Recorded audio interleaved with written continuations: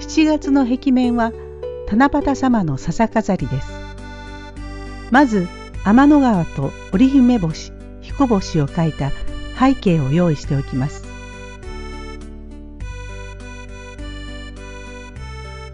その上に竹の茎を貼ります。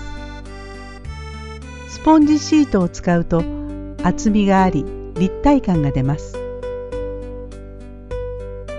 竹の太さに合わせ何本か細長く切ったら最後は先が細くなるように切ります。それを竹の節の長さに切り分けていきます。この時切った順に並べておくと貼る時に便利です。背景の上に竹の枝の形を色鉛筆などで描き、その線の上にボンドを薄くつけます。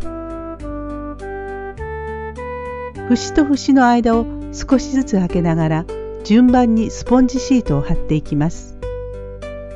もし途中で足りなくなったら作り足してください。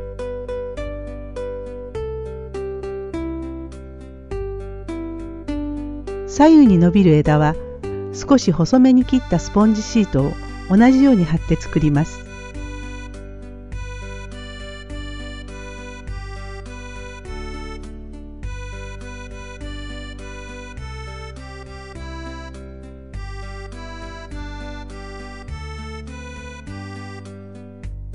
残ったシートでもっと細い枝も付け足しましょう。周りに貼る笹は画用紙を重ねて切り3枚1組にして作りましょう。刃の先が下に向くようにして全体のバランスを見ながら貼っていきます。ここに色紙で作った笹飾りをつけていきます。輪つなぎ、三角つなぎ、四角つなぎなどが定番です。貝飾りを作るときはシュレッダーバサミを使うと早くきれいにできます。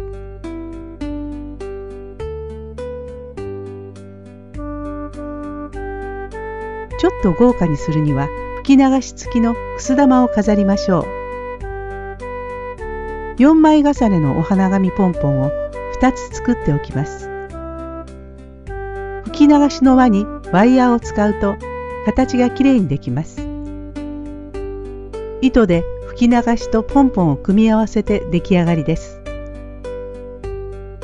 願い事などを書いた短冊と一緒に飾りましょう。笹飾りをメインにしたので2番の歌詞を五色の短冊に書いて貼りました。天の川をメインにする場合は1番の金銀砂子の歌詞がぴったりです。飾る場所に合わせてレイアウトや添える言葉を工夫してお楽しみください。